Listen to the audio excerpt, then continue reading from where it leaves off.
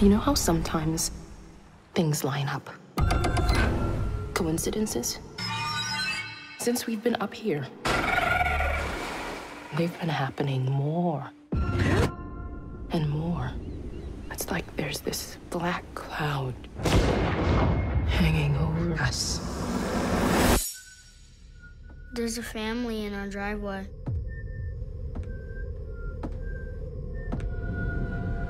Who is that?